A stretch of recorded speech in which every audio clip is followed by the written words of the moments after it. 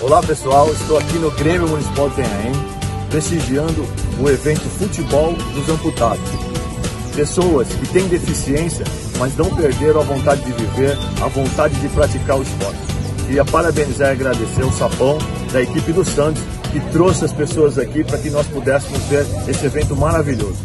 Parabenizar também e agradecer ao Rony, presidente do Grêmio, no qual também agradeço toda a diretoria, o prefeito Marco Aurélio, o departamento de esportes com o Zé Roberto, o Fabinho e principalmente parabenizar o William Thor por ter trazido o evento e nos prestigiando com esse maravilhoso futebol das pessoas com deficiência.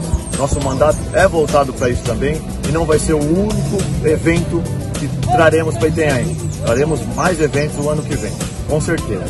Forte abraço e fique com Deus.